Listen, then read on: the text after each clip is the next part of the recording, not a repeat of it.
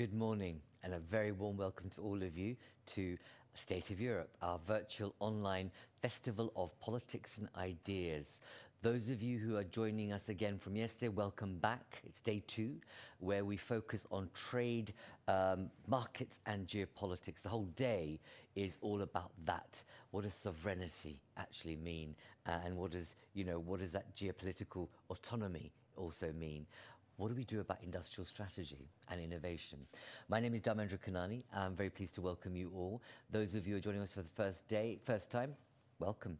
Um, I hope you have a good time with us. Um, make sure that you connect on the platform by, make, by ensuring that you're able to see what's what we've got on offer today.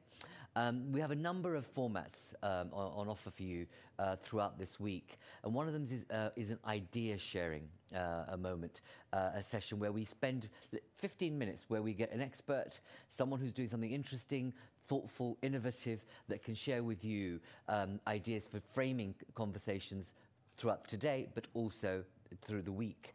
Um, those of you who are aware, we know there's a, uh, a very quiet bio-revolution taking place that has the potential for transforming societies and economies. Um, it gives me a great pleasure to invite Ma Matthias Evers, who is a senior partner at McKinsey, to share some of the thinking and work they have been doing um, in um, this area and to set out what the potential is, both for framing the EU's future economic uh, pathway, but what it means also more widely in terms of the issues around trade, innovation, research. Matthias, it gives me a great pleasure to invite you to join us. Before you say a few words, I want to share with you the results um, of our citizens poll. We've annually conducted for the past few years a, view, a, a, a survey of citizens and one uh, result, if you like, that speaks to this agenda is, as you can see, all of you, I hope you can see on screen, is that just over just a third of Europeans want to prioritize technology, science, and research, making it a mid-ranking priority. Because we ask, we ask citizens, you can see, over 10,500, you know, what should the priorities be of the EU over the next five years? And you can see where people are on this particular one. Yet, those of you uh, are aware in terms of economics and uh, economic development and growth, it's those countries that invest in innovation that do the best in the long term. However, over to you, Matthias, to share your thoughts on the biorevolution. What does it mean for us in terms of economics and society? Thank you very much and a warm welcome to you. Thank you very much, Dharmendra. Really, really appreciate the kind introduction and the kind words. And, and I really look forward to this presentation and this honor of giving it. Let me share uh, a couple of slides in the background as I introduce to you uh, mm, the biorevolution.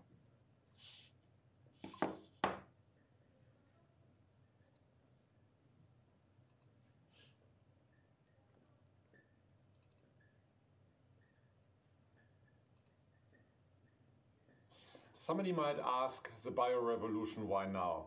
And this is a timely moment as a chemistry Nobel, as a Nobel Prize in Chemistry was awarded to Emmanuelle Charpentier and Jennifer Doudna.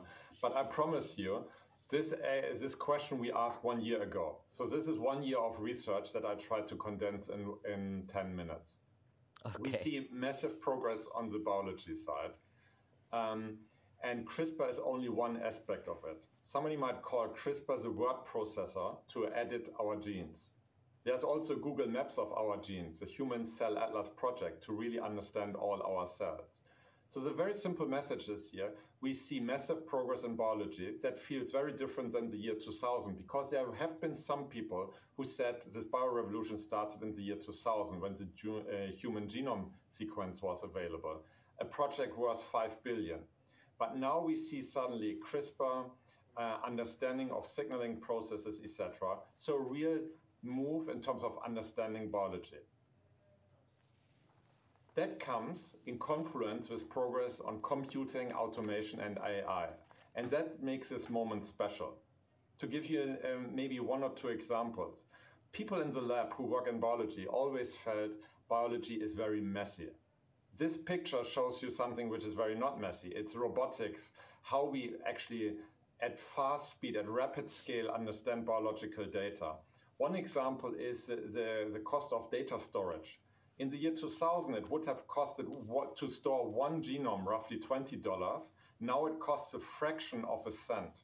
So these are innovation factors of 5,000 fold, 10,000 fold, or we can suddenly screen cells in automated robots that give us scale and better understanding of data. Now, we ask the question, does this confluence of better understanding biology, all these innovations like CRISPR, and the confluence with progress on automation AI generate a biorevolution? As we came out with this research, I mean, I think you know our answer. Our answer is yes, and this is a special moment of time and an opportunity as introduced that will impact how we live our societies and economies. Let us introduce the, the idea a little bit better what are we talking about in terms of areas of science? Because there's a lot of confusion and breadth of concepts. We structure this into four areas. First, the biomolecules. Here we talk about, let's say, our, our DNA, our genetic makeup, and how we modify it. So we see progress of gene therapies. However, there are also novel biomaterials of better, uh, bet, uh, better features, even than chemical produced molecules. Then, interesting enough, there's biosystems. So that could mean how do we uh, generate new organs to, uh, to respond to a medical need? This can mean, mean we uh, produce cultured meat, so to replace food, animal produced food there are also the areas of bio-machine interfaces and biocomputing. So neuroprosthetics, again, out of the medical field, or biocomputing. And I give you this one example. One kilogram of DNA, so of the human genes, could hold the information of the current world, the total information of the world, one kilogram. Again, I'm not proposing here that biocomputing will replace uh, silicon-based computing as we know it. I'm just saying there is progress in many dimensions and there are many use cases we even don't fully understand. But this gives you a map of how to understand the bio biology revolution. If there are two or three things to take away, this is one of them. Because if you speak about the biorevolution, somebody will say, oh, I'm talking biotech in pharma. Mm. Oh, I'm talking biotech in agro. But here's something more at play. We, we see emergence of five capabilities that really cut across industries. So for instance, um, number one, we have the biology means to produce materials of better performance and sustainability. So we can, for instance, modify cells to produce new materials that can replace how we produce materials uh, based on chemical processes.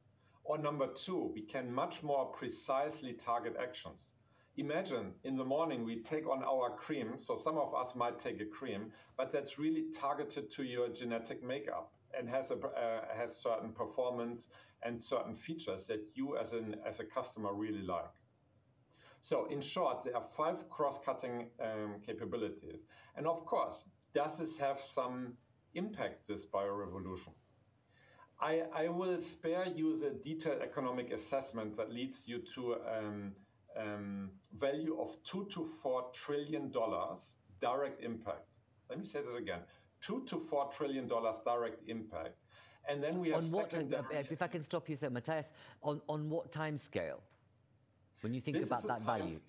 Yeah, it's, it's a very good question, and, and I should clarify that. Mm. So we looked, let me actually back up. We looked at the visible innovation pipeline. So, what are bio based products already on the market?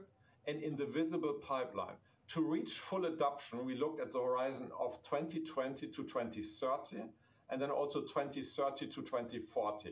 So to reach the 4, 4 trillion, we look over the next 20 years. Okay. But the important comment here is that the visible pipeline. So this, this is not yet uh, combining these capabilities to, to the, uh, towards new use cases. This is just what we see already and creating adoption. And to illustrate what do four to uh, two to four trillion really mean, it's it's I, I would propose to rem remember these four numbers here on this slide. And as you see, they are really in response to the big human uh, human challenges we have on this planet. In the upper left-hand corner, we can replace 60% of our direct physical inputs. So what does it mean? Chemical products can be uh, produced by biological means So this could lead to products of better features or produced in a more sustainable way. We can respond to the unmet medical need. So the cancers, the, the mental disease, I mean, the real killers of this world. And our bottom-up model suggests we can uh, reduce it by 45% with these visible innovations. We can accelerate R&D by biological means. And what was maybe the most surprising and energizing figure, the 7 to 9%, how all these biotechnologies can contribute to sustainability and reduce man-made global greenhouse emissions. That's really the imp impact potential of the biorevolution. Now, it's very important. We talk about potential, but we have to talk about the risk as well, because this also drives how we have to think about actually delivering it and, and collaborating around the biorevolution. Here you see um, six elements. I won't talk about everyone in detail, but I think there are two, three themes hidden. Mm. On the one hand, we have across the world different value systems. We have imbalances, and we have also different views on privacy concerns because when we look into the medical field, we look at the most private data almost, our genetic makeup, how we are made as a body. And it's really a, a, judgment. How do we use this data? How do we as individuals donate this data? What are the standards? How do we protect it, etc.? That's perhaps one broad theme. There's a second broad theme, and I have to say, so far I didn't talk about the COVID and the pandemic around us, because this research started really before. But it shows us biology does not res uh, respect jurisdictional boundaries. So I'm not talking about malicious intent for the mm. moment. But if, let's say, like the IT uh, companies in the 80s, you start in a garage because some of the biotechnology you just buy on the internet legally, and you start experimenting and you just create something that is replicating. So there's certain risk and certain boundaries have to be set, given how interconnected biology is. So what I'm proposing here is to actually recognize what you mentioned as a silent revolution mm-hmm. as something of major impact potential, but also of very specific risk. And that leads me already to concluding here in terms of a couple of statements for innovators, for businesses, for policymakers. And let me go step by step here. Number one is we believe it's time that this bio revolution allows us to, uh, to generate biology first business models. These are business models which are, go beyond industries, create enablers, create new capabilities, let's say screening of cells as a basis for new materials of very broad impact. Secondly, we believe here's something that can drive a much more personalized impact, be it in consumer industries, be it in medical, be it in, in, in the chemicals industries and material-based industries, etc. Certainly, almost like digital, this has a potential to disrupt the value chains. Mm. So we are better well ahead what's happening here. So yes, everybody talks about the digital disruption, but let's also consider the confluence with biology and what it means. I'm very excited about number four, the confluence of disciplines, because this means collaboration. Collaboration across experts. And in fact, uh, Professor Doudna, I mean, who I mentioned before, as we worked, I mean, she also contributed to this. And there was a comment on what to study these days to mm. really embrace it. And that was interesting enough more raised on the computing AI analytics side, because we need that collaboration with biology. And lastly, across so, social and regulatory uh, side, I think again, how regulatory acts here, how the private public interface looks like, and how we collaborate. So, bottom line, yes, we believe there's a biology revolution. Yes, we believe it has significant impact, but also a specific risk profile. And we want to make people aware, almost as aware of the digital revolution, mm. because this will have impact for all of us. With that, I thank you for allowing us to, to raise this idea here today. Matthias, thank you very much. And, you know, one of the things that occurs to me, and I'm glad you went to that slide about the risks, because everything you were describing kept on ringing alarm bells. When we think about our historical, our experience in, in history uh, around dodgy innovation, if I can call it that, we there's an element that this could be um, seeding all manner of stuff that's going to clash with our values, our ethics, our morality. And there's something about how the biorevolution, in particular CRISPR and other matters, which can be hugely impactful, but also hugely yeah. malicious. And um, when we think about, you know, synthetic babies and uh, when we think about what might happen to our bodies and what we can do, but also what we are saying about issues around disability, um, race potentially. There's all manner of stuff that could come up. So there's something here about having some form of a governance and regulatory framework on the one hand, whilst seeding what, as you quite rightly say, when you think of the benefits, it's vast, are there vast? Because if we learn the lessons from the digital revolution, we might have thought differently about how young people are accessing all manner of stuff well before they're mature and what, what it's doing to social relations and, and human relations more broadly. And there's something similar about learning from this tipping point in the revolution. But if I can ask you just very briefly, Matthias, where does Europe stand on this? What is this? Is this does this have potential to be Europe's competitive advantage, or is it missing? It, or is it missing the point? Are you getting you know doors open to saying this is a really important thing to do? I mean, I really appreciate your comments and thank you for also uh, picking on this. I mean, as you can tell, I'm a scientist by background. I'm excited about the potential, but this is, I mean, this is why this work was explicitly also focused on the risk because it's it's a side of the opportunity and the risk, and that's why um, I think also I raise it as an idea here in the context of Friends of Europe because really understanding it, providing that framework could be a strength of Europe. And let me more specifically talk about Europe. Number one, I believe Europe is one of the leading regions in terms of the foundation of science. Mm. The strength of science sits here and actually across the disciplines because collaboration is a big element here. And we could easily see in with our scientific diversity, cultural diversity, that this foundation is even further strengthened. So the basis is here. However, I think, I mean, and I published separately on, on this actually, the scaling in Europe is, is missing. How do we hmm. translate the scientific foundation into new business models and that scaling? That's a call out I would do. And actually being alerted here's a next revolution coming, so over the next 20 years, to be really on the forefront. As we have seen, we are not necessarily on the digital side. So I see here again massive opportunity, but almost a watch out how to leverage the strengths of Europe hopefully that triggers us for further discussion. Absolutely. Thank you, Matthias, for that. And you know, it's, it is something that was ever thus.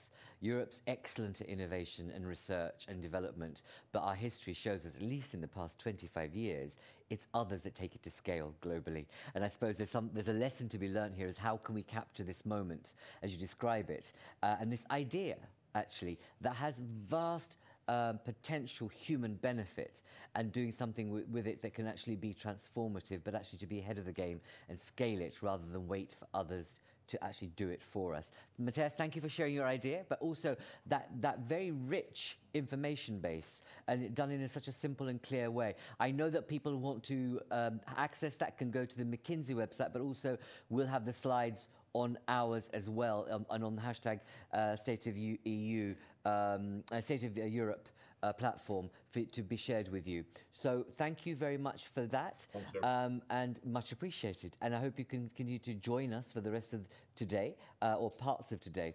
Um, colleagues, um, a very warm welcome to you who are now joining us for the first session. So that was the idea sharing so, moment, but now we are moving into uh, one of our bigger high-level sessions uh, devoted, as I said, today devoted to trade, geopolitics and competition and other matters. Today we're talking about reshaping the EU's industrial strategy from competition to trade policy. Um, before I introduce speakers and say a few words of introduction, let me just kind of uh, set out the rules of the game here in terms of engagement.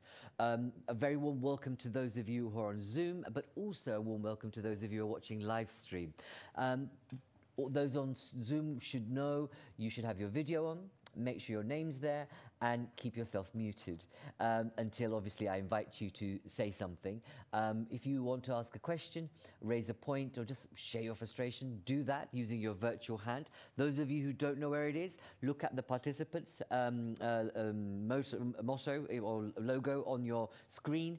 Press on that and you'll find the virtual hand. Those of you who are on live stream, uh, warm welcome again. Use hashtag state of EU to post your comments, raise your questions and your ideas, uh, or, or even frustrations about the process or whatever. Uh, we, we wish your engagement. So thank you to, to, all of you for joining. And those are the kind of process points. We have uh, just over an, just an hour to get through a very chunky topic. We have a, a range of really high quality contributors to, the, to join the other discussants in this Zoom forum to deliberate what it is to uh, reshape or transform industrial policy and strategy in the future. So, we have, um, as, I, as I said, a, a rich set of contributors uh, for this discussion, but just a couple of words of uh, or thoughts on framing some of this. Uh, we know that uh, the single market, the EU single market, and, and the actual economic base weight of it is the largest in the world. Uh, it's the fourth tra largest trading bloc, but the econ economic impact um, is of some uh, 15 trillion euros. We also know, we also know that um, the bulwark of the EU is small to medium enterprises. 90%, 90% are, uh, of, of uh, you know, companies are small to medium enterprises. And we basically have a, a huge relationship with our neighbors and our global partners in terms of uh, import, imports. Um, we need to be thinking long and hard about how we've used our trade agreements um, in, in the world and what we think about those in the future what we all know, and you know, is that the uh, COVID crisis has not just left field, and we know that the econ- you know the world economic output is going to shrink phenomenally by the end of this year. And you know, IMF and others are commenting that it will be around five percent, which is the largest shrinking of economic output since Second World War that changes things fundamentally in terms of economic underpinning. So there we go. Um, we have those, those data points and those issues that frame this conversation about how do we reshape EU's industrial strategy. And I, I really, uh, uh, just to reinforce the fact, don't forget, this is not like every other conference. Those of you who've participated, this is not about the speakers and then you asking questions to them. You are all in an equal position to help us think through this particular challenge of the day and the future years ahead. You all have a, a thought on this and to contribute to as, as we've build this, a festival of politics and ideas, and we want to hear what you think should happen. How do we shift the politics? But also, are there ideas out there that we should be focusing on? So, firstly, I want to uh, warmly welcome uh, Cecilia Malmström, uh, ex-Trade Commissioner, uh, to, to share with us your thinking. Cecilia, a very warm welcome. Thank you very much. Uh, good morning, everybody. Good morning. It's an honor to be here. Thank you very much. Uh, can I just say to you, can I just ask you very, uh, very just a difficult question? Um, is that given where we find ourselves with the COVID crisis, um, the, con the concept of sovereignty we know uh, is being bandied about quite significantly. We know because of the crisis that businesses have felt the sense of risk through the distant supply chains. And suddenly there's an inwardism taking place and a mm. protectionism. Is sovereignty the right policy objective for the EU in the future? No, actually, I don't think so. I mean, the world has been, as you also mentioned, through the biggest crisis in a, in a century. We have had more than one million dead We've had people hospitalized, we've had bankruptcies, unemployment, crushed to dreams, economies falling, and probably it's not over. And the whole world has suffered, even a little bit different depending on, on countries, but this is a global crisis. So the time is for more cooperation than ever. Because we have seen, uh, and it started before the crisis actually, democracy has been eroding, international organizations have been eroding. Europe has a very troublesome neighborhood. Our, uh, our biggest partners, US and China, are not abiding by the rules. We see increasing ingress, aggressive uh, investments by, by China and a deteriorating situation when it comes to human rights. We see US engaged in trade wars and disregarding the, um, uh, the transatlantic relationship. So global world order is really under pressure. And no country is sovereign enough to deal with this alone. So, what we need to do is, of course, to reinforce cooperation.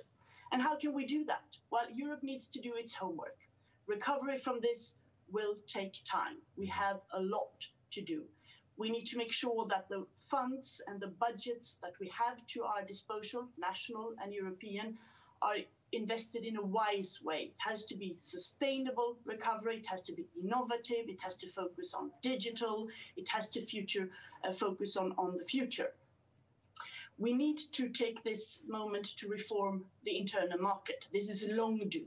We've been needing to do reforms there for a long time, and there's enormous gains to be made if we take away obstacles like public procurement, standards, certificates, there is uh, estimation from the um, uh, internal market DG in the Commission saying that if we simplify the service sector on the internal market, we could gain up to 700 billion euros mm. until 2030.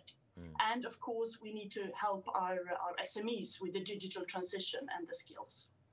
And we need to deal with the outside world. The global trading system needs to be upheld, it needs to be reformed. We need to work with allies to reform the WTO. Uh, we need to make sure that we continue to work with the free trade agreements that we have. Europe has been very successful in that, and we are actually gaining more than our partners from that. So we need to cultivate them, elaborate them, um, and, and deepen them, and make sure that those who we have concluded enter into force. And we need to improve the global level playing field, especially vis-à-vis China. We need to make sure that the investment screening works, that we have trade defense in place, that we have an international procurement instrument, that we do the reforms that the Commission has announced on foreign subsidies when it comes to competition. And we need to push China, together with other allies, to, to reform. But we should not become protectionist import and export is good for Europe. It, it will be the key for the recovery. And some companies have, of course, changed and diversified their value chains. Uh, we need to focus much more on diversification, flexibility, and on creating an innovation friendly environment. But Brussels cannot decide on the architecture of value chains. And we could possibly produce some strategic material and equipment in Europe, but we need to see if that is efficient as well. I mean, lithium mining is not built up over a day. But if we recover uh, and become stronger economically, we are also more resilient. And we can set a model in Europe for climate friendly technology standards. And here we should seek global cooperation also on the issue of uh, border adjustment taxes. Where we need to be more sovereign, and I end with this, is in the foreign policy. Mm. We see that other partners are increasingly squeezing Europe, and we have not seen Europe really positioning itself in a strong geopolitical position. So we need to be more strategic. We need to be more united. We need to change the way we need we make policy uh, decisions, and we need to take a stronger responsibility for our own security this crisis, if there's anything coming out of this that is positive, is the need, the show, the, the evidence that we need to cooperate together. And I think Europe can take a lead here, doing its own homework, but also being the leading partner in restoring global international cooperation. Cecilia, thank you very much. But you've been in the position where the current trade uh, uh, commissioner is. And imagine, you know, that, that's a, a, breathless menu of issues that people need to Indeed. think about right now. I mean, it's tremendous, but actually, it's also the, the historic moment that we're in demands that kind of attention. Um, but when you see right now the kind of narrating, narrative emerging from the Commission, what's your sense? Are you worried? And I want you to, if and B, I know that it's difficult because you've been there before and you don't want to uh, um, trash anyone that's in the position that you, you used to be. And I'm not asking you to do that, but I want you to comment on the narrative you're hearing and whether you recognize it um, or are you worried by it. And then that, that point you made about security, about where sovereignty matters, is say a little bit more about that, that, because we have a session later on today around some of this issue, these issues. But I, I'm interested in the way you're linking our industrial approach, industrial strategic approach with also security. Cecilia. Well, obviously, the new commission and the new commissioner is now in the phase of formulating a new trade policy for the coming five years. Indeed. That's perfectly normal. Um, and there are some buzzwords there that I hope can be more operationalized because the concept of open strategic autonomy that is very often used in this is, in my mind, a bit vague and very unclear what it actually means. I mean, you have open, open markets, you have strategic, absolutely, we should be strategic, but what is auto- autonomy? Because we are so interlinked in this world, so we, we cannot be autonomous, and we shouldn't, because we need trade and we need to engage even more. We need to do some changes. Some companies have already done that, and maybe our panelists in, in a couple of minutes will, will refer to that and we need to make sure that we level the playing field. So there will be a few changes, but I I think the, the, the current buzzword of this really needs to be operationalized because Europe cannot turn into protectionism. It would be a, a huge mistake because nobody has gained so much out of trade as the European Union the, the last decades. Indeed. And it would be a key to recovery to do that. But there will be some changes, obviously, as I mentioned, the le- leveling the playing field, the investment screening, looking at competition, uh, and, so on. And some companies have already, as I said, started to see whether some key products in, in raw materials or medical equipment could possibly be produced closer or that you diversify your, your value chains. But that is, of course, a business decision, not a European, uh, not a, a Brussels decision. Indeed. On the security, Mhm. you're absolutely right, because if the European Union wants to be a geopolitical actor, as, as uh, President Ursula von der Leyen has said, we need to be strong in all areas. In trade, we can be strong. There, we can make majority decisions. We are the, the biggest internal market in the world. We're a very attractive partner. We can put demands, not only economically, but also promote our values. But we are much more handicapped in the foreign policy area, and we saw that when it came to dec- deciding on, on sanctions, where Europe took a long time to really land in sanctions vis-à-vis Belarus, uh, for instance. Uh, so we, we need to, to change the way we make decisions there. And combining economic recovery, being forceful in reforming the international multilateral system and pushing for, for changes there, taking a broader uh, responsibility for our security and foreign policy will make Europe a, a geopolitical actor. But that has to go together because otherwise we just half half strong. And we have seen in a changing world where Europe is quite alone, I have to say, uh, regrettably, we need to be stronger on all these areas. Uh, thank you, because you know, on the one hand, there's a, such a great opportunity with the recalcitrant USA and others uh, operating the way they are. There's a great opportunity for, for Europe to actually walk in and, or rather, create a mutuality and use its diplomatic muscle in different ways to do some of the things you do. And also, you're referring to something which I think requires a very sophisticated change management strategy, and the you know Team EU needs to work very differently to actually achieve some of this. But you know, let, let's hope. But that inherent contradiction about open and autonomous, um, there's that kind of a double speak around that. It's almost trying to assuage the concerns internally um, uh, that almost point to a kind of a bunker mentality which I hope that's not the case in the future, but then also trying to convince the others that actually we're still committed to a, a social economy, an open marketplace, if you like. And these are some of the inherent contradictions that we're likely to uh, face. But let's focus on what, what, what's the art of possible as well. Um, thank you very much. And I want to move on to um, uh, a French politician who's joining us here today. But before I do invite you, Agnes, um, I want to share with you um, a slide on our citizens um, poll, uh, our annual poll that we do, we've been doing for the past three years.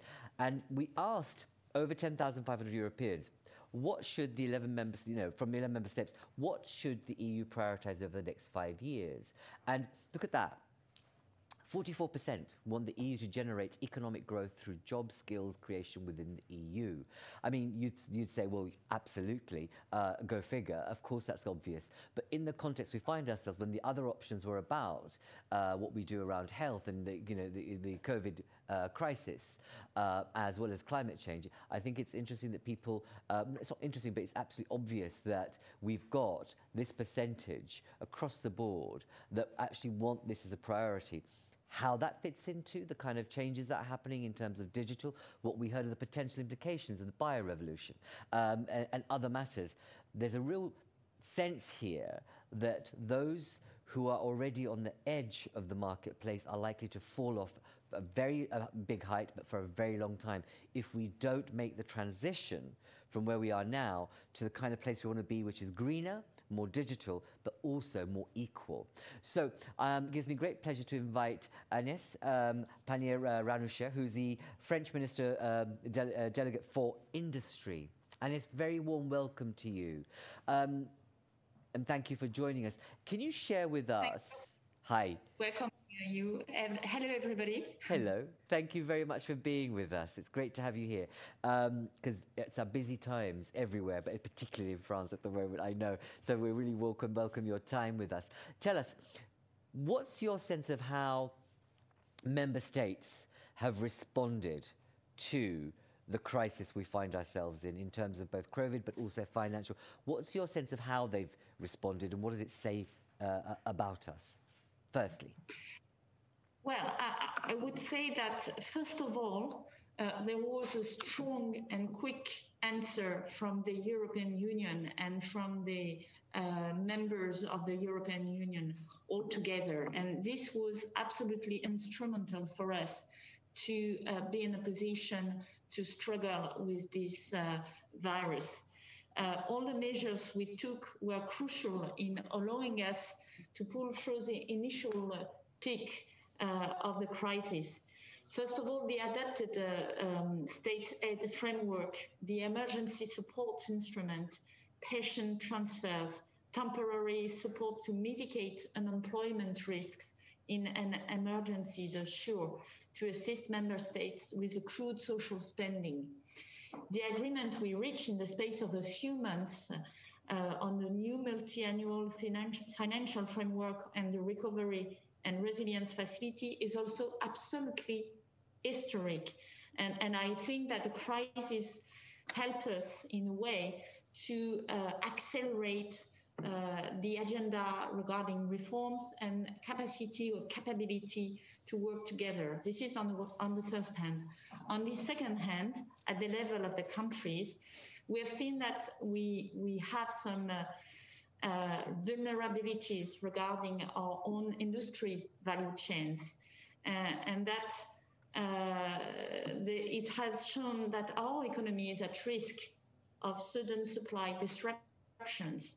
Um, this uh, crisis has hence highlighted a clear need to reacquire our industrial capacity. But we also show that uh, the capacity and capability of industrial companies were there and that we were in a, in capacity to turn production very quickly to uh, the uh, protection goods we need.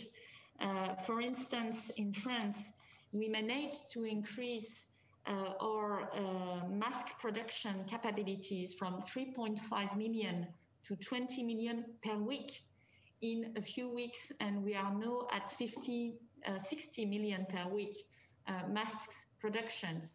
So it proves that when you are under pressure, mm-hmm. uh, the companies and the European companies can deliver quickly and that they are much more flexible mm-hmm. than you may anticipate. I can say the same things regarding respirators in France sure. or uh, uh, other um, overproductions. So I do believe that there is, on one hand, uh, a lot of uh, um, strengths that we have proved uh, to to and that we have shown in this crisis, and on the other hand, the vulnerabilities that were highlighted during uh, the last semester are uh, to be tackled through uh, a much more ambition and ambitious industrial policy. And we are able to deliver on this uh, ambi- ambitious industrial policy. Okay, thank you for that. So that's a, that's a, that's a, a kind of a, a, strike of confidence there about delivering because, um, and I, I hear what you say and we hear what you say, but the early stages of response in the EU was uh, really marked by a lack of solidarity, but it, it picked up pace, as you know, and people did do the right thing finally. But we've heard from Cecilia about what the challenges are. Um, in terms of your, your confidence that we can deliver an ambitious industrial strategy, um, how do we how do we make sure that the, the changes or the improvements we've been seeking on the single market for decades. You know, people have wanted the single market to be much more improved, and we've heard what the prize is if we get it right. Um, what do you think needs to shift in terms of the single market, but also the kind of industrial strategy we should be looking towards. You know, France is a big player politically, economically. Um, in terms of your other partners, tell us what, what do you, what's your view? Well, regarding the single market, uh, we have uh, yet room for improvement. We have uh, room for improvement on the financial aspect. And uh, this is something that uh, we support greatly in, in France. But we have also room for improvement on the services.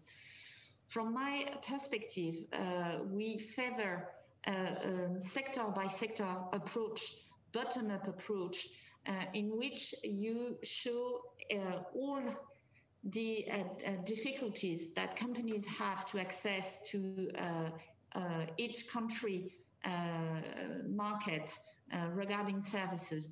I'm not sure that uh, we can handle this uh, situation through a, a, global approach. It has to be bottom up, based on uh, facts and data. And I'm sure that we can move forward on that. And this is exactly uh, what we are working on uh, currently. On uh, the industrial policy, um, I would say that first we need to catalyze investments in strategic value chains sectors and technologies that are key to our citizens' safety and security. Uh, we have done uh, that.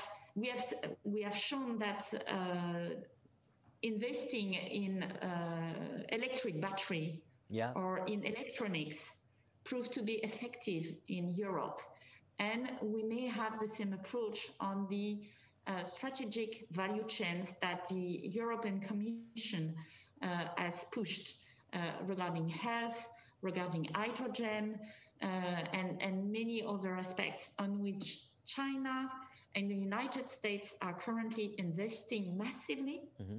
And if we want to be strong, and I agree with uh, Commissioner Malmström that we need to be strong, but we need to be in an open mind and not in a protectionist mind. Uh, if we want to be strong, we have to build a competitive edge.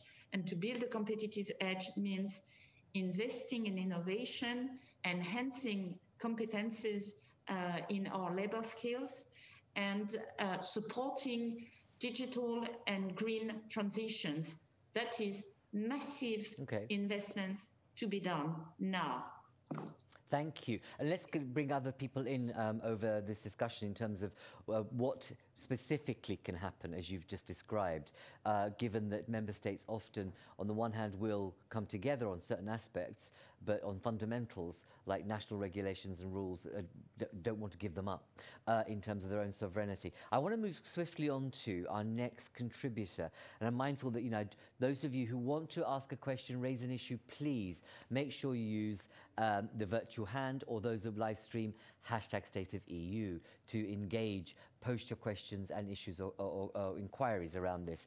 I want to turn to the private sector now. We have the chairman of the board of directors of ENGIE, Jean-Pierre Clamadieu. Jean-Pierre, thank you very much for joining us. And a very warm welcome to you. Um, Jean-Pierre, your, you, your company is a household name. People know about what you do globally and in Europe, etc.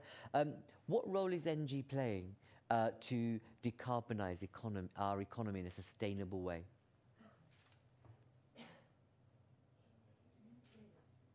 I just need you to speak up a bit. We can't hear you. I think you've muted yourself, Jean Pierre. Yeah, sorry. Should be better this way. Excellent. Well, okay, welcome to you again. Okay, so I was trying to be discreet on the first part. no, I was saying that ENGIE, ENGIE is indeed a very large uh, utility. We employ uh, 170,000 people around the world, but mm. we have made energy transition our raison d'être. We really, we are really, we are focusing uh, not only in optimizing our, uh, our footprint in terms of uh, CO2 emission, but we are also very active in helping our clients, local governments, uh, industries, uh, households reduce their own impact. And this is really something we've been doing, this twofold approach that we've been developing over, the, over the past few years. And if I take just a, a, few numbers, and I don't want to overload you with, with numbers, but the company has reduced its CO2 emission footprint by 50% in the past uh, uh, four years, thanks to a very aggressive exit from all coal-based uh, production facilities. We have today about 100 gigawatt of electricity capacity, which makes us a very large producer. A third of them are renewable, uh, hydro, wind, and solar. And we currently have in our pipe about 10 gigawatt of, uh, of new projects. We are the largest developer of solar and wind in France. We are very large developers in the US, in Brazil, and in a number of, uh, of European uh, countries. Mm-hmm. On top of that, we are a large gas transporter and distributors in, in France, and we are very active uh, in turning this uh, gas into green gases, short-term biomethane, longer-term hydrogen. So all of this makes us indeed a, a very large uh, actor in the energy transition. And by the way, we welcome the initiative taken by the Commission. The Green Deal for us is a great enabler, a great accelerator of the energy transition in Europe and it fits very well with uh, what ENGIE is willing to uh, is willing to do. Uh, maybe with one exception, if mm. I may, Please. which are green gases.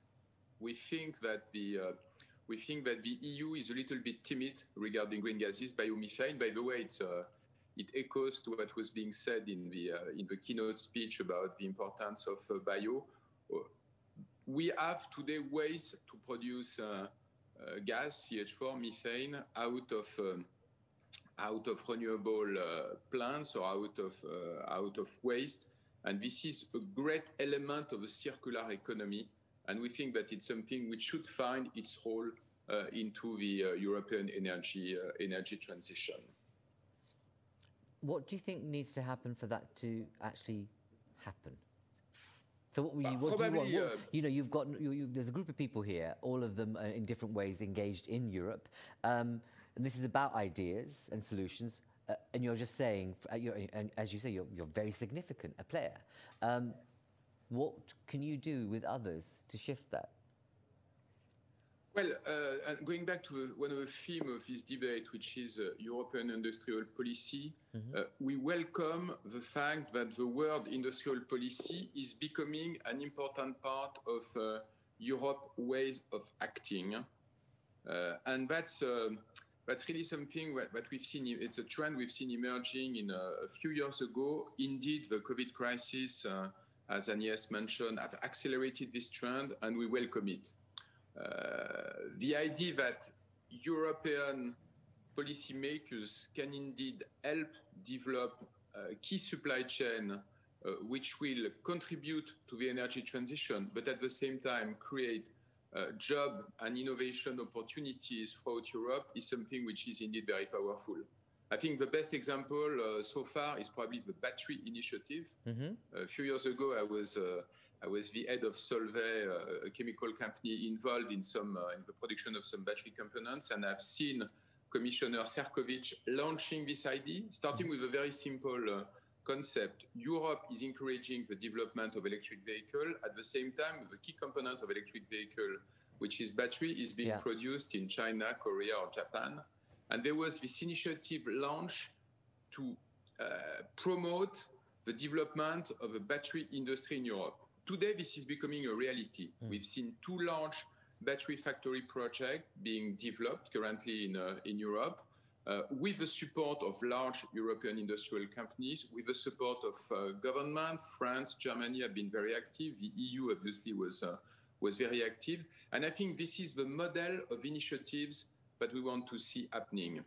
Uh, and the next, uh, probably the next important uh, subject regarding energy transition is hydrogen. Mm-hmm. The same concept is being developed regarding uh, regarding hydrogen, and we've seen the EU encouraging the development of an hydrogen alliance using, sorry for the uh, the complex acronym, but the IPCEI concept, which means important project of common interest in Europe. Of course and it is. Uh, Why wouldn't you name it anything else? Go on, sorry.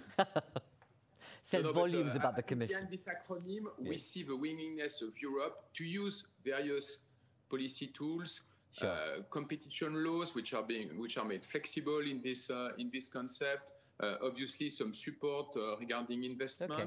We see member states supporting this, and indeed, this is a very powerful way to create a European industry aligned with the objective of the energy transition. And And, my wish is Mhm. probably that we don't. My wish is first that we move quickly on hydrogen. That's uh, that's obvious, but also that we look at other technologies. If I think of um, uh, renewable energy, wind and especially offshore wind has a very significant potential. Indeed. We need new technologies, floating uh, windmills, which uh, which is something uh, which is a project on which uh, ENGIE is uh, is working, and I think European support would make this technology could make this technology available sooner, and this is something that we should uh, focus on. And if I may add one last point Of course. about financing. yes. Uh, first, ENGIE is a very large issuer of green bonds. Last year, we've issued more than 3 billion euros of green bonds, Uh-huh. which means that we believe that finance can indeed support the energy transition. We are looking with a great interest at uh, what's called the European taxonomy of investment, which is a way uh, to decide what investments are green and needs to be encouraged and what investments uh, uh, should not be encouraged. We are a little bit worried when we see uh, some of the some of the concepts which are behind this taxonomy. If we are not very careful, we could exclude a number of projects. I'm thinking of gas, uh, because gas is a, a, very important element of the energy transition for the next decades. And moving from coal to gas is a very pow- powerful way to reduce CO2 emission. Mm-hmm. But more than that, gas can become greener uh, thanks to the development of biomethane and, hyd- and hydrogen. And when we look at the detail of this taxonomy, we see Yeah. situations where we would exclude some projects which indeed are very important for the European energy transition. So a lot of hope seeing that uh, European industrial policy uh, could become indeed a strong catalyst or strong enabler of the energy transition. But at the same time, let's be let- let's be attentive and let's not create obstacle which would reduce the financing available. Jean Pierre, thank you. Um, and our resident cartoonist obviously created that very powerful image, which is not a comment on what you were like it. saying, but it's great, no? Um, but what I suppose the message is speed and acceleration, but do that in a broad tent with the private sector. But come back to that, because I'd like us to think about what are specific things that could happen as a result of this conversation. I want to bring in our audience. So I have Carl Benedikt Frey. Carl? Can I take very the opportunity welcome. to ask two questions, please? So on the one hand, we have But hang on, can, before you before you launch in, say who you are, where you're from, before you ask that. Sorry. Ask it. Carl Frey. I run the program on the future of work at Oxford Martin School at Oxford uh, University, Okay. uh, as my virtual background probably reveals. Um, so I have a question to the panel, please. So. Um, on the one hand, there seems to be this tension between openness. Europe has been a great beneficiary of trade, but the pandemic has shown, or at least some think it has shown, that we need to become more self sufficient. And my question is uh, I mean, almost anything can be argued these days needs to be produced internally. I mean, nobody thought that we would have to produce face masks in Europe uh, before this pandemic. And there seems to be an argument that almost anything can now all of a sudden become a national security threat or something you need to produce internally uh, in a time of crisis. My question is, how do you think about that trade-off? Isn't it more about diversifying supply chains, not to be too dependent on one player, than having the internal capacity uh, to produce everything uh, yourself? Thank you. Carl, thank you. Uh, don't forget what I said earlier on. This is not a classic conference. We don't have a panel and people respond. This is a whole group. It's about the brain in this forum and elsewhere that you engage with to actually create a response to what you're saying. Um, it might be useful if you could use the chat function to say what you think. What do you think should happen uh, so that some of our contributors and th- those of your colleagues in this Zoom um, uh, uh, room can actually contribute and engage with you on that. And you heard from Cecilia earlier on, who made a very powerful comment about the fact that actually um, we can't suddenly become inward think inward looking and we can't change the supply chain overnight i want to go to uh, uh, someone from twitter alex uh, from our uh, live uh, live stream audience alex I believe we have a Hi, question. Hello. I believe we have a question from the people on live stream. We do, yes. Good morning, everybody. So, our question from Twitter is What impact will the ambitious goals of the European Green Deal have on Europe's industry? And how does Europe make sure that the ambitious emission goals will not leave anyone behind? Excellent, thank you very much. That gives me a great segue into our next contributor uh, who can respond to and think about some of this. We, uh, we're very pleased to have Frank Heemskerk here, Secretary General of the European Ta- Roundtable uh, for Industry, uh, a very significant body, um, a significant player, and obviously been involved quite closely in uh, the development of Europe's approach to an industrial strategy. Uh, a warm welcome to you, Frank. Thank you for joining us. Frank, if you Thank you so much. Hello. Um, if you can share with us what your sense is of how do we now create economic value given where we find ourselves? You, you, you, um, I, I sh- we shared with you the poll results from citizens. Um, but given the crisis, the economic crisis and the political, well, the economic and social crisis been created, how does Europe create economic value now? Well, you know, ultimately, economic value is uh, the means to an end. Uh, let me also put that uh, clearly. Um, uh, and by the way, let me also respond to one of the questions on uh, uh, autonomy uh, and let's say the security and should we produce everything in house uh, in, in, in every individual member state? And the answer there is, of course, no. Strategic autonomy should not become autarky. Um, um, but I explain strategic autonomy as, let's say, Europe needs to be master of its own destiny. Uh, we need to have choices, alternatives, uh, and how, you know, do we become, let's say, more sovereign, stronger? Uh, that's building alliances. It's it's it's building up, let's say, diversifying value change, and that's, by the way, also how the European Roundtable for Industry started in the in the 80s. Uh, um, it is making sure that Europe creates, let's say, growth, prosperity, jobs for for everyone. Uh, it's also not about, let's say, big companies versus small companies. That's a very old discussion. eh? Small companies need, need big companies to scale up. Big companies need smaller companies because they're often more agile or they're more uh, innovative. And that's the ecosystem in which we operate. Uh, but if you look about the economic value created by the relatively big firms in Europe, the sad message is that we're not doing that well. Eh, Europe is not done uh, good enough in terms of competitiveness, not in the tech fields, where we've not created uh, global winners. If you look to our share in the um, uh, S&P 500 eh, of the big companies, we're declining more than you would expect based upon GDP growth outside of Europe. And why is that a problem? Because also big companies, let's say they have career opportunities. Uh, um, they often have a home country bias. They tend to invest more R&D in the region or in the country where their headquarters is based.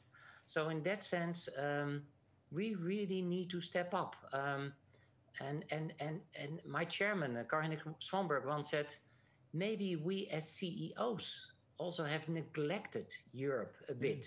Indeed. Uh, we've been too busy globalizing, eh, expanding in China and in the US.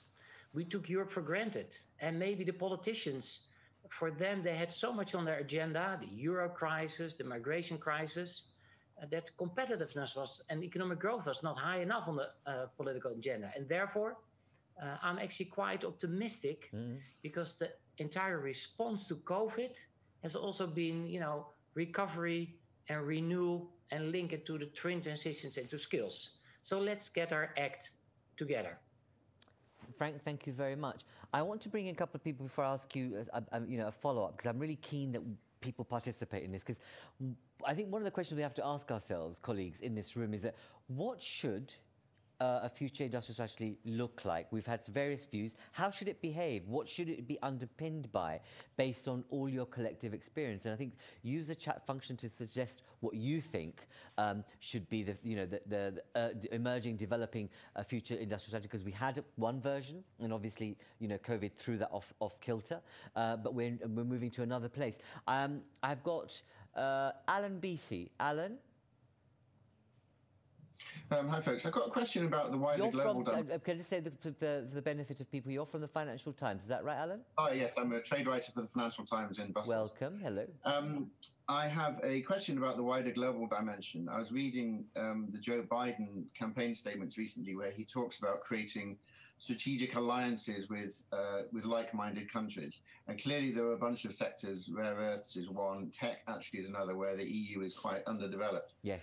Um, and is going to find it hard to go it alone. I just wonder what uh, what potential people think there is for putting together alliances with with uh, economies like the US and becoming resilient, as it were, as a transatlantic bloc uh, rather than by itself.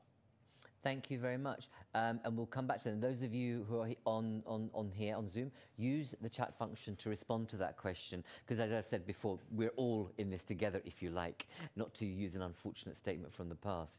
Um, but um, and Alan, you've been covering these issues for some time. It'll be interesting to have your own views of whether you have a sense of optimism that we've learnt from experience thus far. And given the politics we find ourselves in, what's the likelihood of that happening? But, you know, a Biden affair might create a different transatlantic relationship. I want to move to Rupert. Rupert Schlegelmilch? Yes, hello. Thank you for giving me the floor here. I mean, I wanted to come back Please do introduce yourself so that we yes, all know. Rupert Schlegelmilch. I'm a director at the uh, European Commission working on trade issues, in, in, in, um, in, particular with the US. But I wanted to make a more general point about the role of trade policy because that's where the discussion started. And yeah. Cecilia made a couple of points.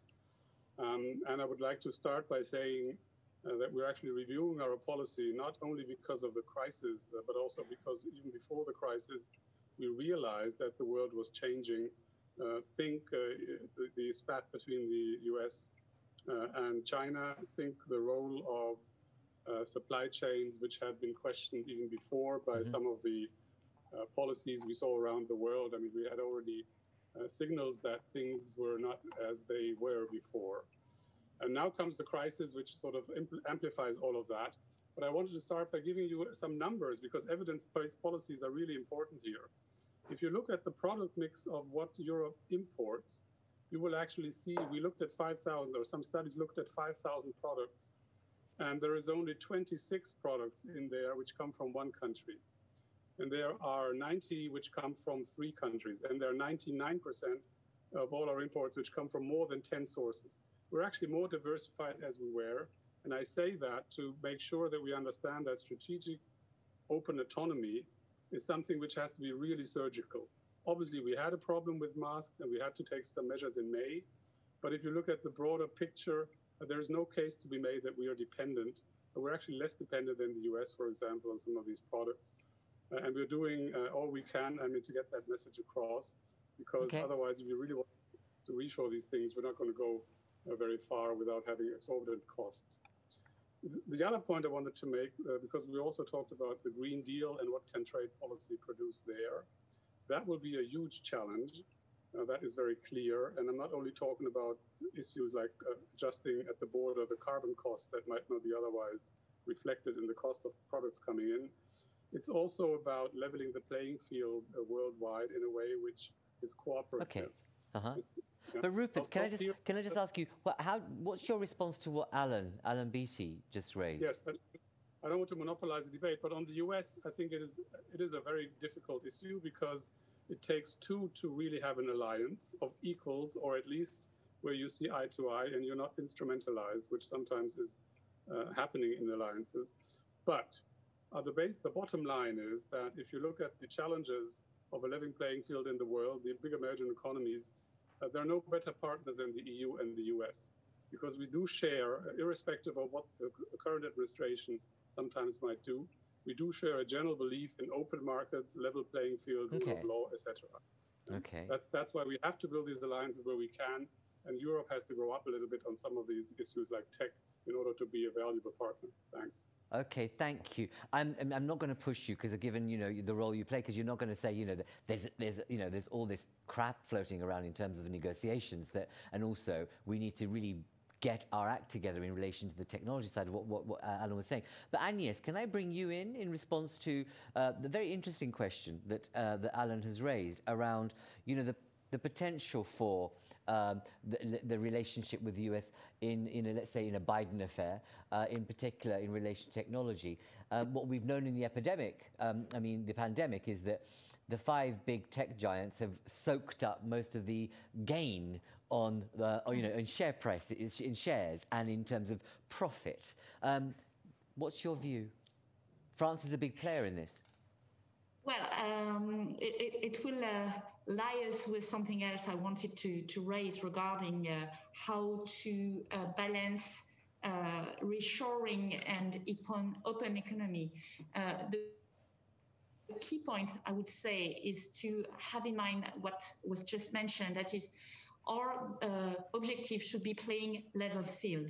And as you mentioned, the big platforms, we may have some um, questions uh, regarding uh, the, the, the way they address the market, their business model, and the fact that they have an easy access to our single market with, without paying uh, the uh, entry ticket for that. Mm-hmm. And uh, you, we need to rebalance the or to have this playing to level the to level the playing field if we want to to be efficient, but not to be protectionist. And uh, and I believe this is key. Uh, and it has to go with the competitive uh, com- competition policy. Uh, I believe that we need to change the rules regarding competition policies to take into account the fact that digital platforms do not have the same business models as brick and mortars companies.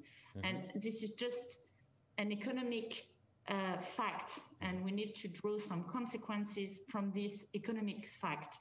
Uh, second, uh, when we um, work on green transition, environment transition, and we push some norms on European companies. Mm-hmm.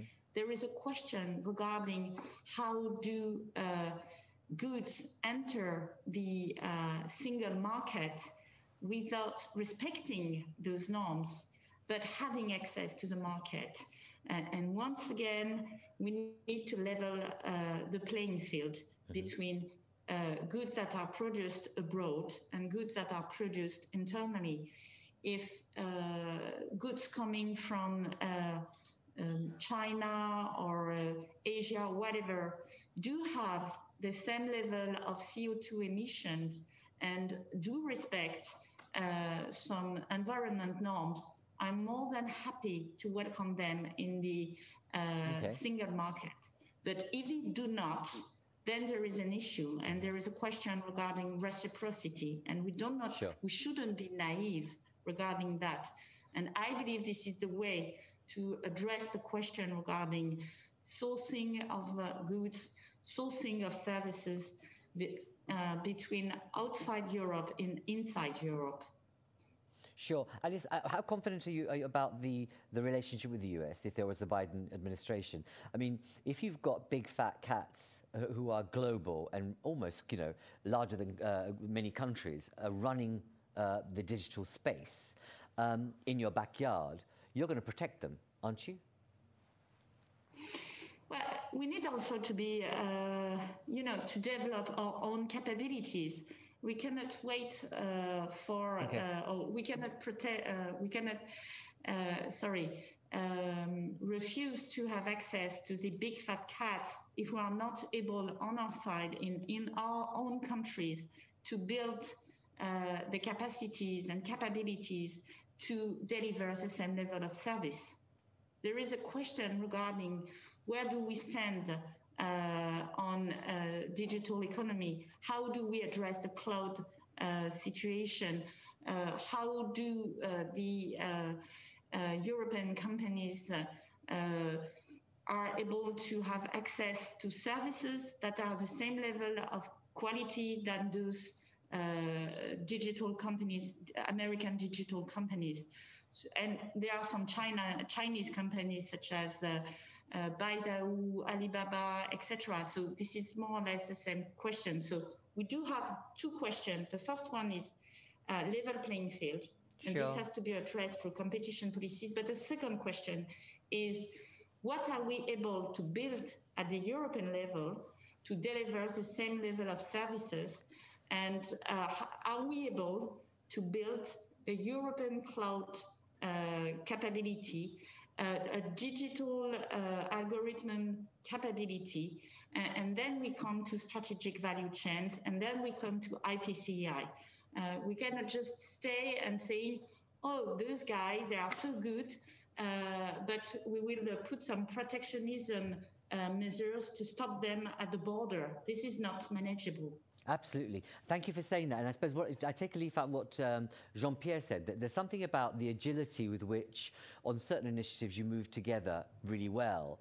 And um, there's something about the industrial strategy has to be a different pivot point that people like ENGIE and others are brought together to hub in a way that looks at the cross-cutting aspects of the strategy uh, from digital, green, etc., so that you are able to compete in a different way. It's almost like doing business differently than we have done in the past. But perhaps, again, people respond to that uh, on the chat function. And also, you know, again, also respond to the thing about what should the future strategy look like.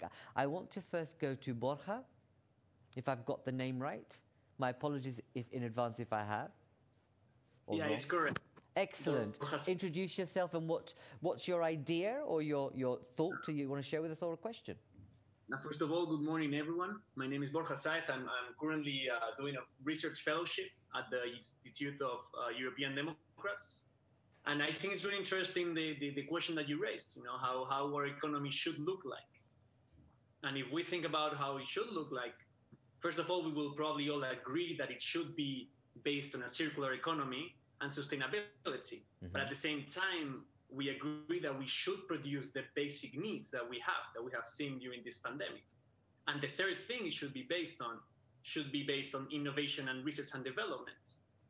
Now, uh, how can we do this? Yeah. Well, I'm, I'm, I'm thinking about two main things. Okay. I'm thinking about uh, creating a regulatory framework. So, for example, here in Spain, we we were pioneers in in making every construction. Um, so every construction, every new construction here had to put solar panels, or a percentage, uh, 10% of their percentage uh, of energy should come from renewable energies. Now, uh, this will push companies also to go towards the circular economy or a more renewable energy economy. Mm-hmm. However, we have another thing that we need, and it's funds, right? How can the European Union or governments boost these certain key sectors that are and are sorry main uh, are mainly based in research and development. and here we have I see two main things. We are in the middle of, of China as we are talking now, and uh, China has these famous five-year plans, right? So they will put during these five years they will say, now we are going to go into solar economy uh, in the solar sector, their main four banks, state-owned banks, will push all the money towards that sector, and in five years they will be the first ones in the in the okay. world. All right. Now, so how can we do this in the European Union? Should we change our state okay. aid policies? Okay. Should we fund certain uh, sectors in the economy? Borja, thank you very much. But also, I suppose when we constantly refer to China, I suppose one thing that we constantly forget is it's a very mm. much uh, top-down approach. It's an autocracy that's able to move and shift things. And as Cecilia was saying earlier, we don't have that same capacity through you know, consensus voting, etc. Um, and we need to think about that. I want to move to Nina. Nina Rawal, one of our European young leaders. Welcome to you. Thank you. Hello. Thank you for this interesting conversation together. Yeah, no, as I sort of think about industrial policy, I'm a venture capital investor in the health space times in our world. And I guess the comment I would like to make is around as we look ahead uh, and how we bring innovation to market. Why in, in, in the area of health, but I would extend it to say that it's the same in other areas of innovation. It, tends to be the US that's the engine from the commercial side. And very simplified, I guess you could say that's based on kind of the single market, as we heard about before, but also uh, aggressive. And what I would like to throw into this conversation is just to say, how can Europe think about different models that are So you're based cutting, on- your, um, Nina, your your transmission's not that clear. Could you either come closer to the mic so that I, we can all hear? Perhaps it's just me, but I can't hear. You're just about to come up with something as an idea about the the single market, I believe. Sorry, apologies. I thought I had good connection. Can you hear me better? That's so much clearer. Apologies. That's no, it. I just wanted to throw in to say, how can Europe, as we talked about new business models in tech, but also in other areas, how can Europe think about a different model, business model that is not just built on aggressive pricing? Because of course, in areas such as healthcare and other kind of necessary areas, um, that's unsustainable to just drive very aggressive pricing innovation. So how can we think about new models, new business models that are not just built on um, aggressive pricing that can guarantee affordability? That's my thought. Nina, thank you. And do, do you think that's about uh, people like you and other entre- entrepreneurs being able to club together and create a different kind of movement in space around that sector in particular? And I think that's one area, but I also think one of the unique things that Europe has is these single payer models in healthcare, but in other systems as well, welfare states. So they can be a very powerful um, leader in a different model than just uh, the American and one we are trying to play catch up. Interesting yes, point. Europe for this, of course. Interesting point. Thank you. Carl Benedikt, Benedikt, if I've got that right. Hello, warm welcome to you. Hello. Introduce yourself Uh, and yeah. your issue or question or idea. So I'm still Carl Frey, got to Oxford Martin School, Oxford University. Ah, sorry, I didn't yet. Thank you. Um, so, but, uh, I'm just a very brief remark I would like to make. And there seems to be a very strong focus in Europe, in particular, on American tech giants. And I'm not sure exactly why we are obsessing so much about them. If you look at US productivity growth, it's been in decline for a decade. They're not having much of an impact on the real economy yet. Artificial intelligence is not yet a mature technology. We need a lot more innovation in the first place for that to have an impact on the real economy. And it seems to be the case that most people in Europe do believe that a market structure that fosters competition rather than a market structure that is built on monopoly and market power is better for innovation. So maybe we should have some more confidence in the model that we currently have is that that competition is going to deliver valuable innovation and even if we think that it's a problem that European companies haven't failed to scale up, American companies that have scaled up have not been creating many jobs. The big exception is Amazon. Okay. So, uh, as you mentioned earlier, Europe has an advantage in uh, having a very diverse um, uh, industry in terms of a lot of um, good SMEs and strong competition. So maybe we should foster sort of uh, focus on that advantage rather than not having. So, so what you're saying is vive la, la free market and let it go, let it be rampant and unfettered to create solutions. Uh, but I'm, that, that's me being controversial response to you, but perhaps something to think about because there is that raging debate. I want to bring in Shay Van Dijk. Shay? Yes. Hello. I'm not sure if I've got your name I'm- right. And uh, just introduce yourself. And It's Shay Van Dyke. Yes, very good. Thank, Thank you. you. I'm I'm I'm afraid I'm calling in from the U.S. West Coast. Okay.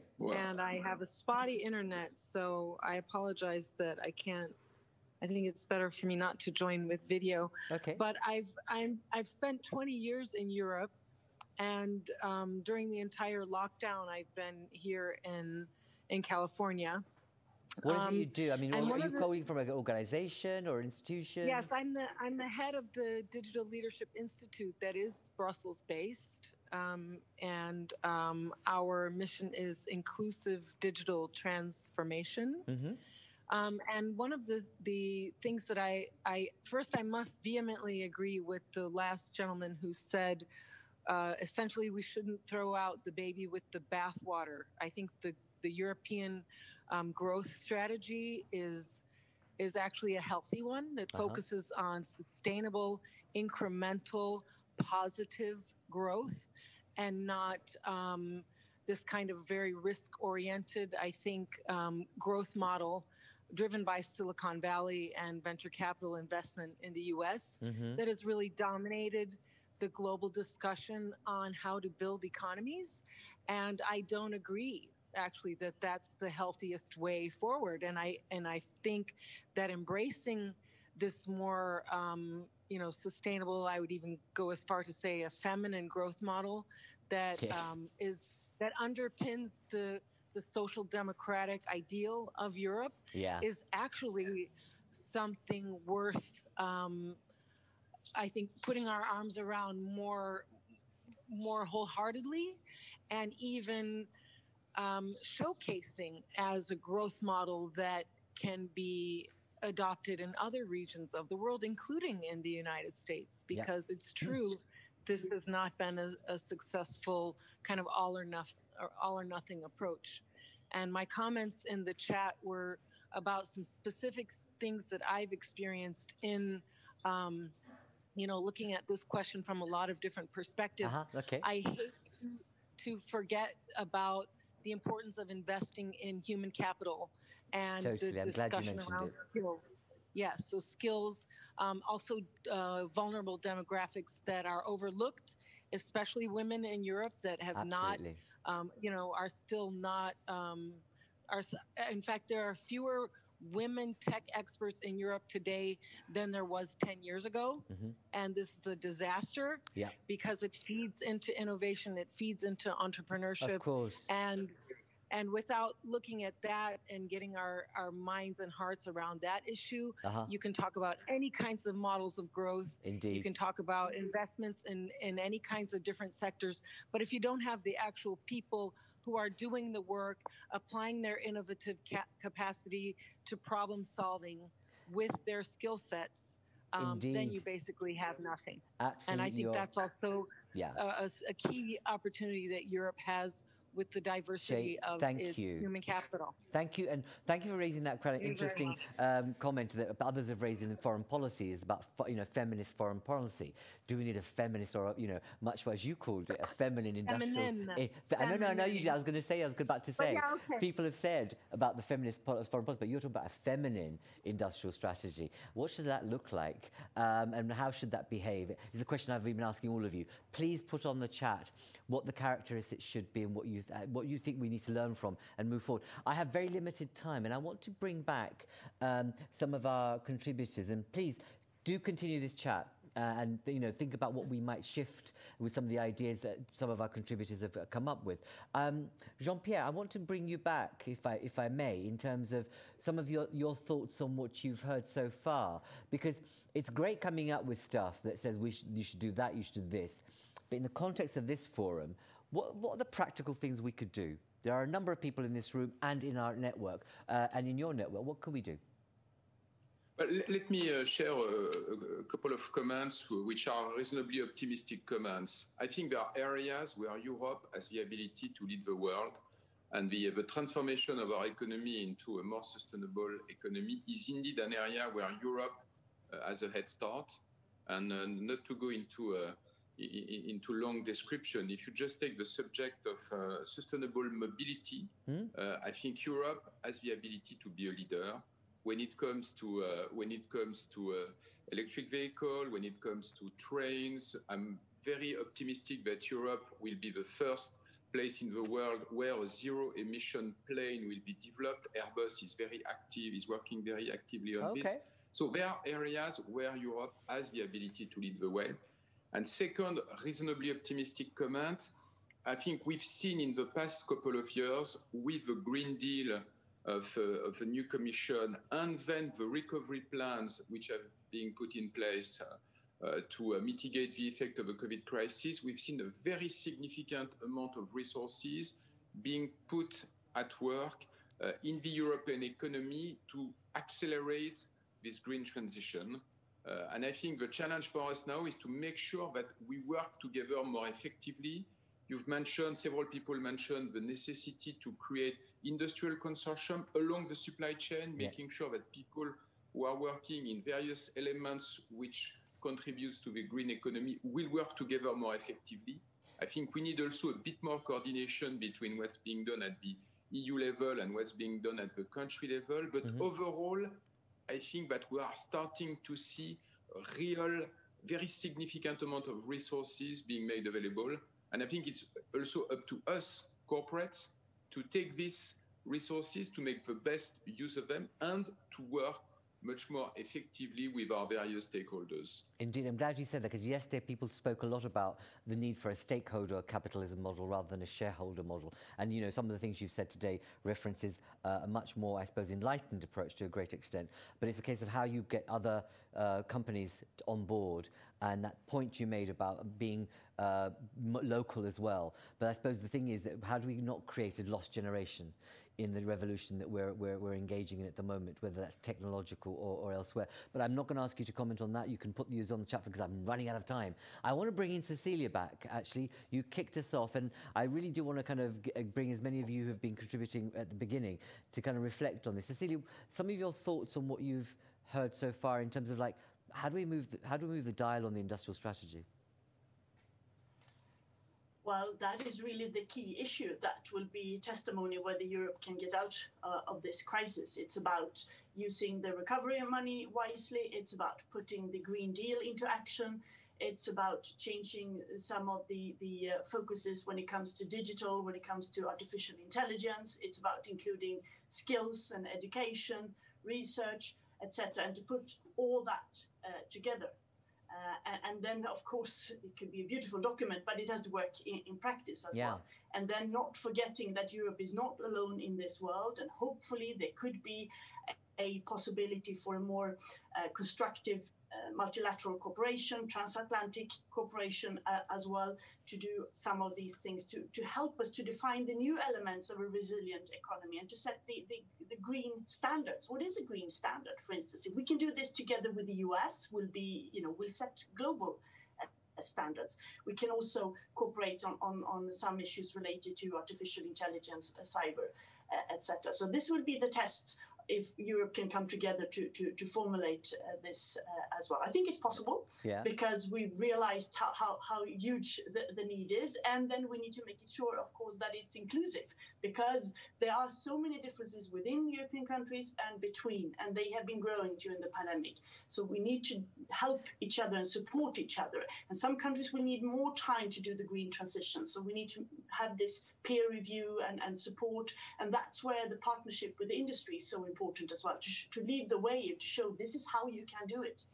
Um, thank you. I, there's a kind of uh, when you said you know set green standards with the US feels like a contradiction in terms at the moment, given Mr. Trump's comments uh, on the, on the agenda. But I know there are many many players within the US who are much more up for uh, this agenda than uh, the current administration over there would suggest.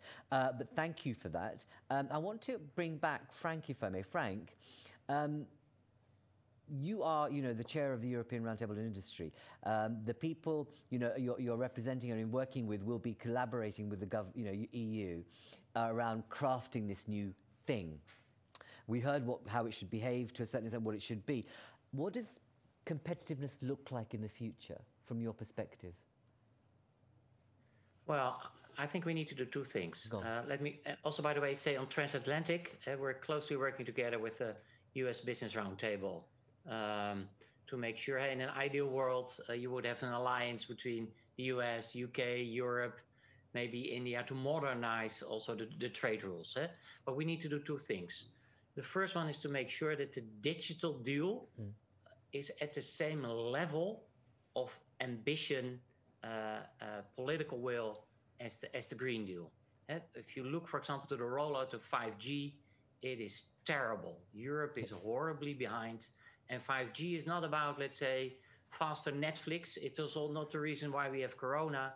5G is important because it's a software for the, it's an infrastructure for the plants, for the factories, for the jobs of the future. So that's one.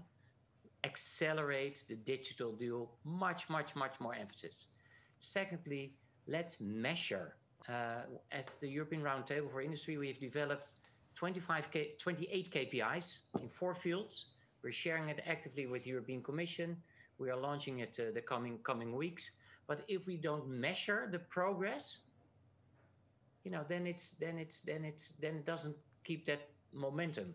Uh, uh, and and you know, indicators like you know how we're doing in the Dow Jones Sustainability Index eh, and output performance, or in internal processes. Also, you know, circular material use, the ease of doing business, or the greenhouse gas emissions future orientation, uh, R&D investments, or 5G adoption rate, or in global relationships, FDI inflows, international students. So if we measure on these four fields mm-hmm. with key performance indicators how competitive Europe is, I'm sure we continue to create, let's say, the economic value, which shows the importance of our overall values. Thank you so much. Uh, Frank, thank you very much. And we look forward to um, obviously uh, seeing how this pans out and you, in, in the next few months before the Commission finally rolls out its approach, which obviously I think perhaps is going to be much more evolving than a, an end deal. But your yeah, notion the good, of a... the good news, if, if I may add, the good news yeah. is that uh, uh, President von der Leyen has announced uh, in her State of the Union that she will renew the industry strategy, the one which was published in March, actually didn't even contain the word the word resilience was not there. So yes, the thinking is ongoing, and let's use the twin transitions uh, skills uh, to, to again to strengthen competitiveness, but also put it into action and let's measure. Thank you. I want to uh, conclude with, uh, let's say, a comment from um, Agnes. Agnes, a lot of what happens on the industrial strategy relies on the behavior of individual members uh, um, and uh, you know member states. Um, I'm not sure. Are you still with us, Agnes?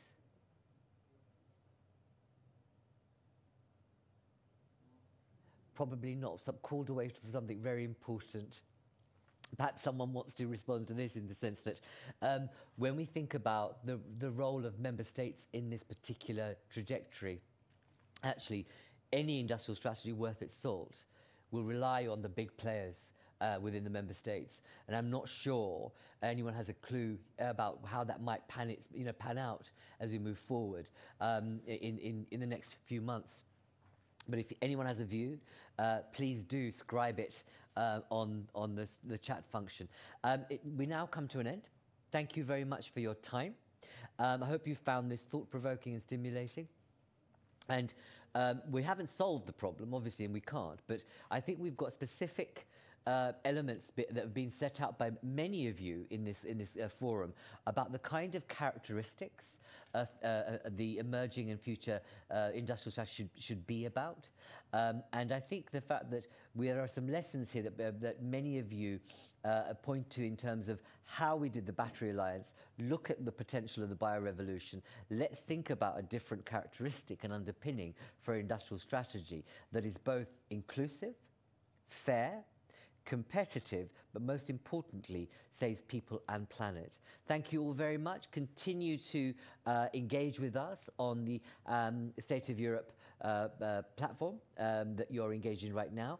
Our next session, please do join us if you have the time um, and, and the uh, opportunity, is to join the discussion about beyond hard security towards a broader concept of strategic autonomy. So, same kind of some of those issues that we've been talking about today will be aired in a different context. And then later on, we'll again be discussing matters of industry and biodiversity in, in the revolution that's taking place. Thank you all very much, and I look forward to seeing you again. Take care, mind your distance, and be safe. Thank you very much. Bye bye.